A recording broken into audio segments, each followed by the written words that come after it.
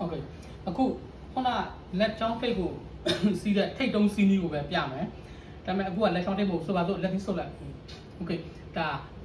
ဒဏ်ရာရပြီးတော့လက်ပြတ်သွားတဲ့ငုံတူကြီးပေါ့အလားတူပဲခြေထောက်မိုင်းထိပြီးတော့ခြေထောက်ပြတ်တဲ့ငုံတူကြီးသဘောထားလိုက်နော်လက်ပြတ်သွားပြီပေါ့နော်ငုံတူကြီးဒီလိုဖြစ်နေတယ်အဲ့တော့ထိတ်တုံးစီးနီးနဲ့စီးမယ်ဘယ်လိုစီးမလဲကြည့်အောင်အခုဒါ3လက်မပတ်တီကိုတုံးတာတယ်2လက်မသို့မဟုတ်3လက်မပတ်တီကိုဒဏ်ရာကြီးတဲ့ပုံမပြီးပြီးတုံးမယ်ခြေထောက်ဆို4လက်မပတ်တီကိုတုံးမှာပေါ့โอเค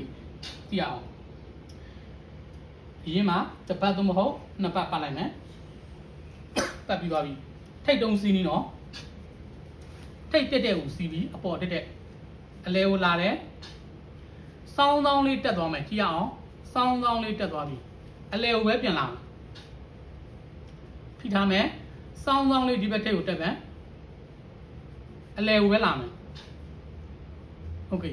လုံပြီလားလုံပြီလို့ထင်ရတဲ့ခါမှာအလဲကိုလာပြီးတော့မှအတွင်းကနေအပြင်ကိုပြန်ပတ်ခြေတော့ပြက်လက်ပြက်ပြက်သွားတာထိတ်တုံစီးနီး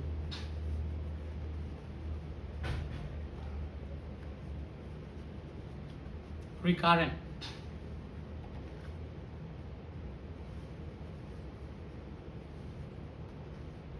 ဒီရင်မှာကံနမပလာစတာတို့မဟုတ်ချိန်နဲ့အဆုံးတတ်